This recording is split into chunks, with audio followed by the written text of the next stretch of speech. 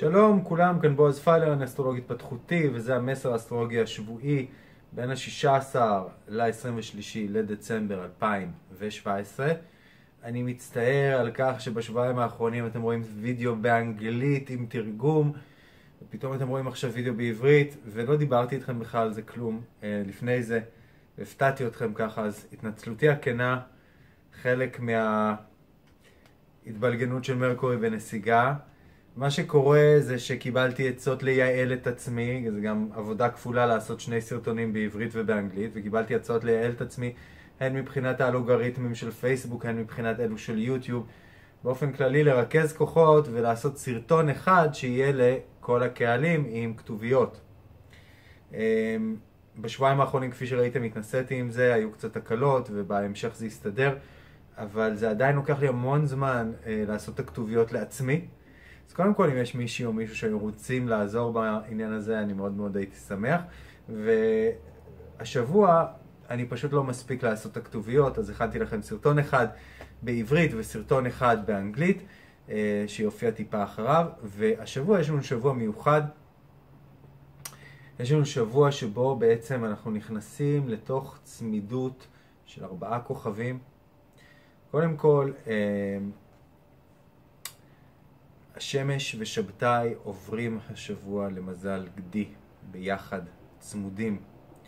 הם יצמדו גם לוונוס, השמש נצמדה כבר לוונוס וממשיכה, היא עדיין בצמידות איתה, ויותר מאוחר גם ללילית, הירח השחור. והרביעייה האלה ככה נדבקים חזק השבוע. זה שבוע שיכול להרגיש לנו משמעותי בכל מיני מובנים. וזה שבוע ש...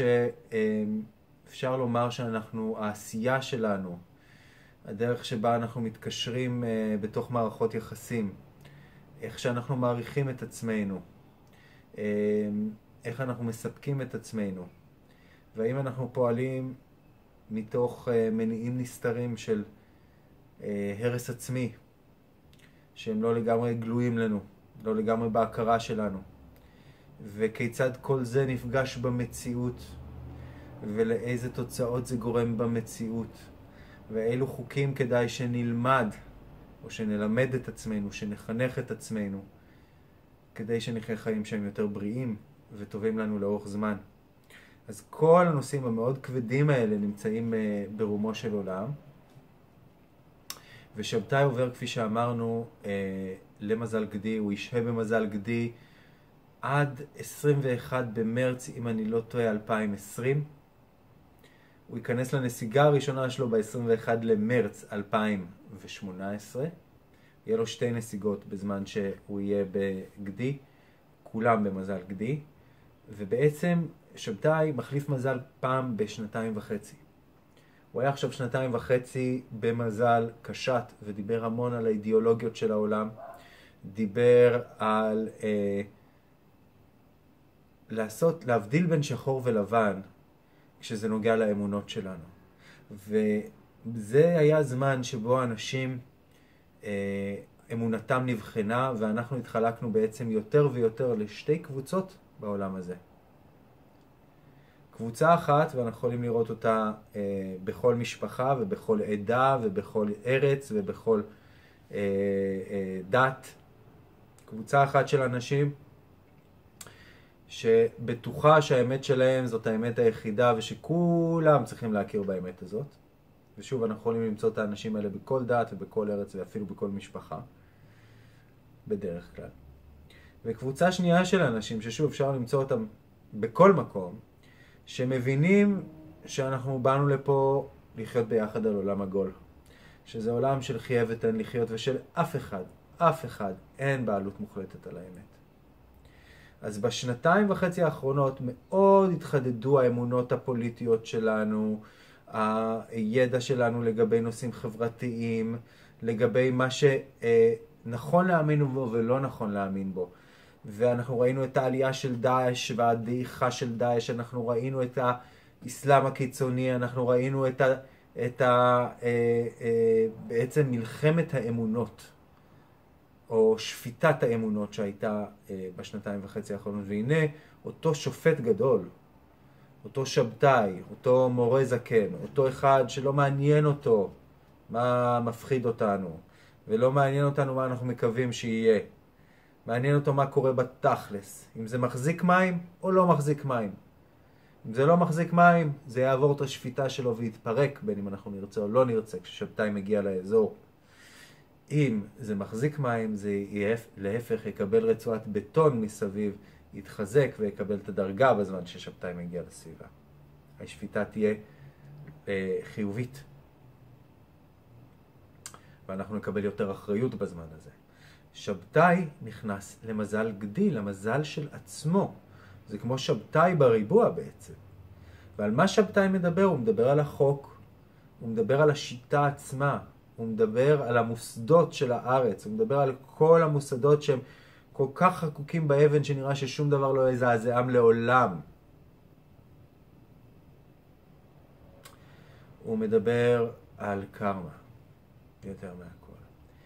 והזמן הזה ששבתאי נכנס לגדי, הוא זמן קרמטי במיוחד, וזה זמן שהרבה פעמים מי שחוטף את הקרמה הזאת יותר מכולם, זה דווקא מוסדות הארץ, אה, חוט השדרה של, של החברה, שלא היה גמיש מספיק, שלא הקשיב מספיק אה, לזמנים המשתנים, ולא היטיב אה, בעצם להתקדם קדימה עם הזמן, ופספס בכך את המטרה שלו לגמרי. אז במובנים פחות פילוסופיים ויותר פשוטים, בחיים האישיים שלנו, החוקים שאנחנו חיים על פיהם הולכים להימדד. המסגרות שהחיים שלנו אה, מתנהלות סביבן הולכות להימדד ולהישפט.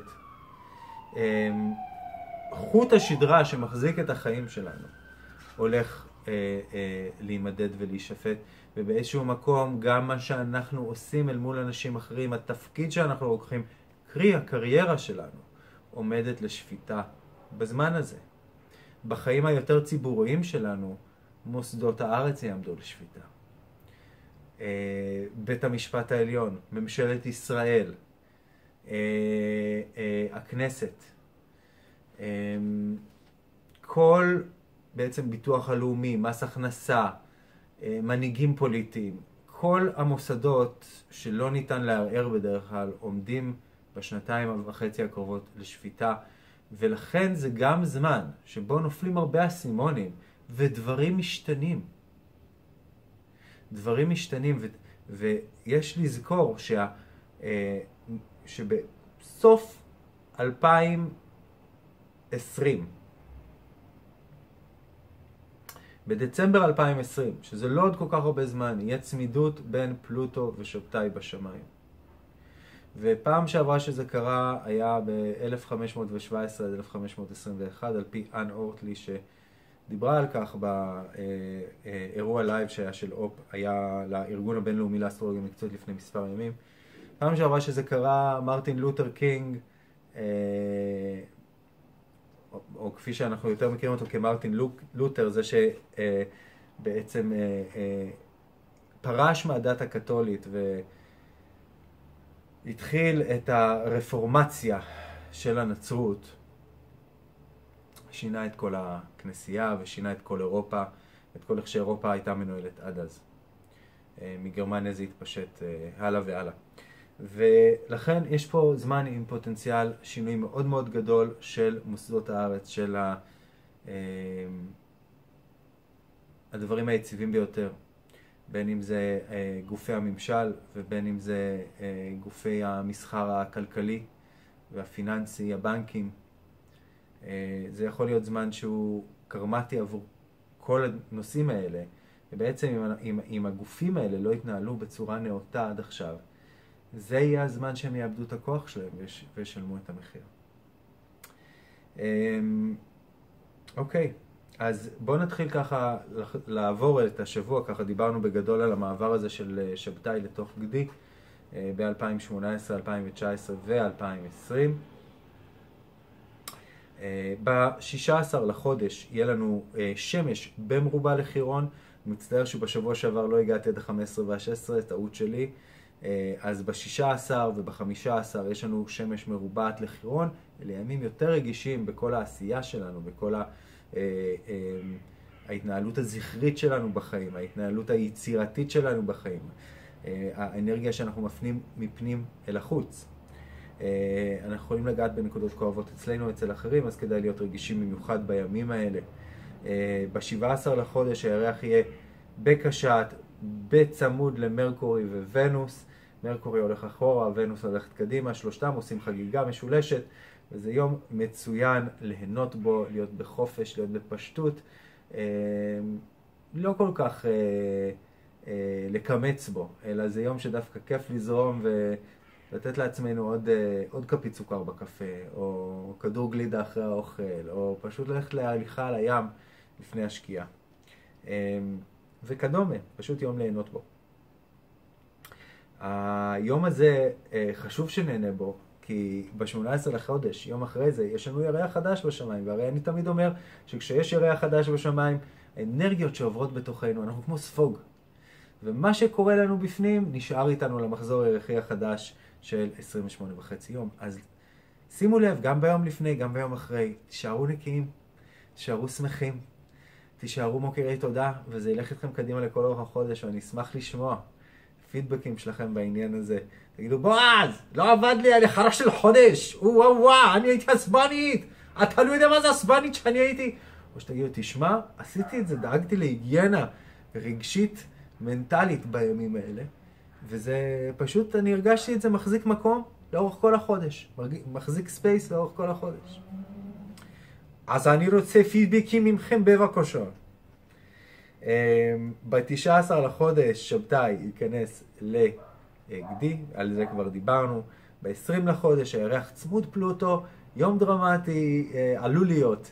אנחנו יכולים להיות הרבה יותר רגשניים ביום הזה, קריזיונרים קצת אפילו, להידלק על כלום.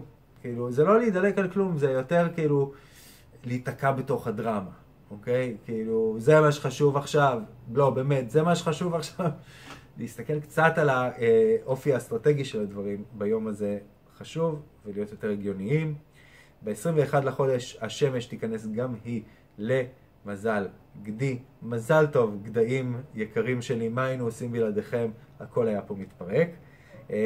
גם השמש יעמוד במרובה למרס, אז זה יום רגיש מבחינת עצבים, זה יום שאנחנו יכולים להיות בו גם יותר חרמנים רחמנא ליצלן.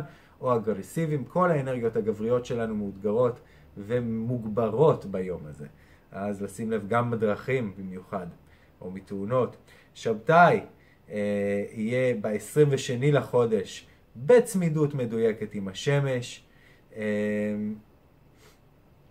זה יום כזה שבכלל כל הימים האלה של ההיצמדות של שבתאי לשמש הם ימים שבהם המשקל של מה שאנחנו עושים פה בעולם, של מי שאנחנו, גובר, ואנחנו יכולים לשפוט את עצמנו יותר לחומרה.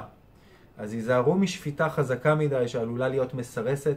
שימו לב גם לא להיות שופטים קרים מדי לסביבה שלכם. אנחנו יכולים להיות כאלה, בכלל, לראות דברים שצריך לעשות אותם כפי שצריך, שאי אפשר לעגל פינות, וזה טוב, כי זה מבגר אותנו. מדובר פה על זמן של התבגרות, על זמן של לקיחת אחריות, אבל לא צריך אה, לאבד את הצבעים לגמרי ולהיות לגמרי אה, קרירים ויבשים. לא אה, לכך התכוון המשורר. אה,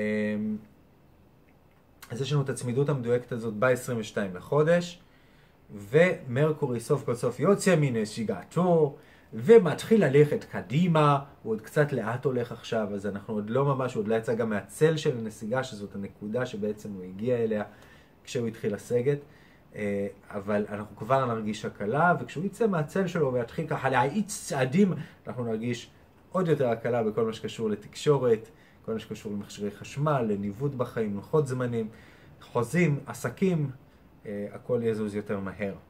ב-23 לחודש אה, מרס אה, יתחיל להיצמד בעצם ליופיטר, משהו שאנחנו נחווה בשבוע הבא.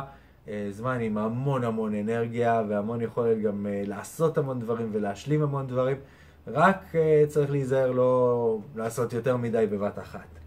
Uh, ואותו מרס ב-23 לחודש uh, ויופיטר שיהיו בצמידות, אה, יעמדו במרובע לדרקונים, זה זמן שהפעולות שלנו נמדדות, זה זמן שכל החלק היזמי שבתוכנו עומד למבחן, כל החלק הזכרי שבתוכנו עומד למבחן, גם החלק המיני שבתוכנו עומד למבחן. כל החיה שדורשת מאיתנו תשרוד ותשרוד עכשיו, אה, אה, בעצם מאותגרת, עומדת למבחן, שואלים אותה, אוקיי, הגענו לקו החצי, איפה את עומדת היום? תני לנו איזשהו דיווח. ובזמן הזה אנחנו יכולים להרגיש איזושהי זריקת מרץ לפעולה אה, ו- ותנועה קדימה, איזושהי תחושת לחץ, איזושהי תחושת ערנות ודחק, שאנחנו חייבים ככה לקחת דברים קדימה, ולקחת את זה גם כמו הרפתקה, מרס, יופיטר. ללכת, לצאת מהגבולות שלנו, לצאת מהקומפורט זון, ולעשות דברים שפעם פחדנו מהם, אבל היום, היום הם דווקא מעליבים אותנו. אז זה בערך כל מה שהיה לי להגיד לכם להשבוע, אני מקווה שנהניתם. אה, וכמובן, ייעוצים אישיים, קורס אה, באסטרולוגיה התפתחותית וכל שאלה שיש לכם, מוזמנים לפנות. אה, כאן בועז פיילר, מאחל לכם סוף שבוע כיפי ושבוע עוד יותר נחמד. תודה שהקשבתם. אה, וכל uh, תגובה שלכם, לייק ושיתוף של הסרטון הזה, חושפים אותו ליותר אנשים. תודה רבה, ולהתראות.